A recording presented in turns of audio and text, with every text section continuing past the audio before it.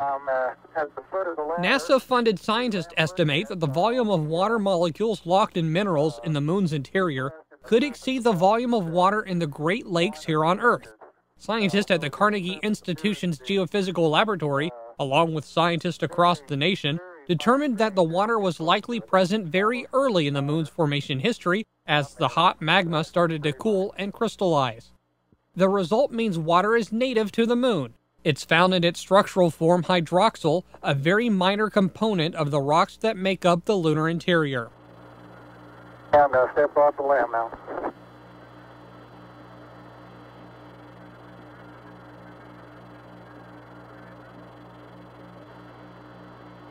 That's one small step for man,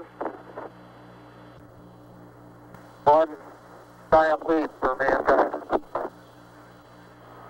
That's a good step. Yep. About a three footer.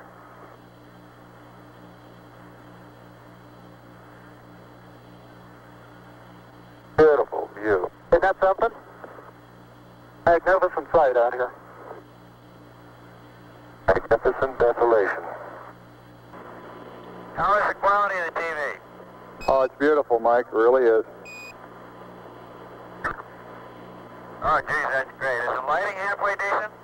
Yes, indeed. They've got the flag up now, and you can see the stars and stripes on the lunar surface. up now, and you can see the stars and stripes on the lunar surface. Beautiful, just beautiful.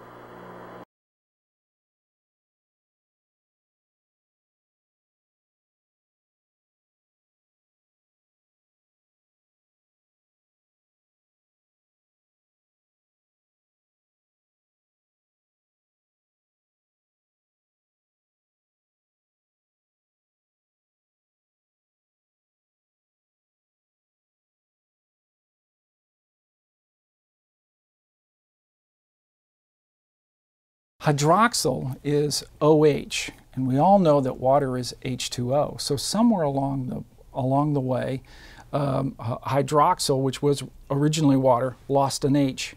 Well, that process occurred billions of years ago when the moon originally formed. And so the measurements that they're making now, finding these very small, incredibly tiny amounts of hydroxyl, tell us a lot about the amount of water at the early formation stage of the Earth and the Moon. Well, this is not really H2O, water that we know. So it's not like it's pools of water or even ponds of water. It's actually ancient water that has been modified in the solidification process of the moon during the time of its early formation. What's really exciting about these observations is it's allowing us for the first time to understand what the conditions of the early Earth was when the Earth and the Moon were formed together from a collision from a Mars-sized object that hit the Earth 4.5 billion years ago. Well, there's been quite a bit of talk about how did the Earth get the water that it has? Did it begin that way, or did the comets bring it in, or even the Kuiper Belt objects uh, bringing it, bringing water in? And so this is now the first evidence that we had that there actually was a fair amount of water initially in the Earth-Moon system 4.5 billion years ago. What the scientists discovered by examining specific lunar rocks, and these lunar rocks are called apatite. And apatite is one of those, as it forms, it grabs water. Now, it did that in its early formation, 4.5 billion years ago.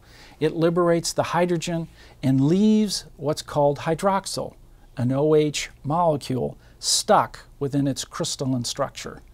And so the scientists with instruments that are, that are uh, far better than we've ever had before We're able to detect apatite within the apatite this hydroxyl at parts per billion. And that tells us a lot about how much water was in the early Earth formation.